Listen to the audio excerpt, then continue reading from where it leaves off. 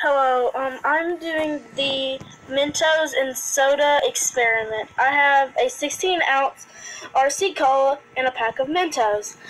We're gonna drop the Mentos into the RC Cola and see what happens. Okay, so we're gonna start the experiment.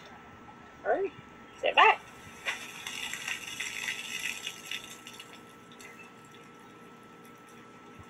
Go.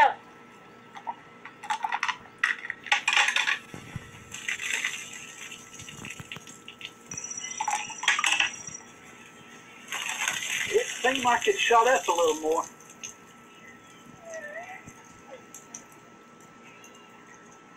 It used a whole bit Big more of it. Yeah.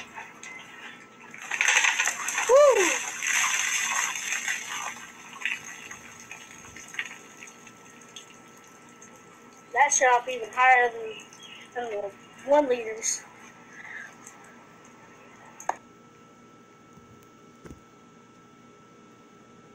The physical change is that the carbon dioxide is speeded up because of the Mentos acting upon it.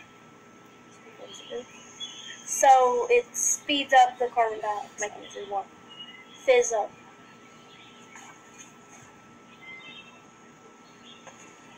It's more of a physical change than a chemical change.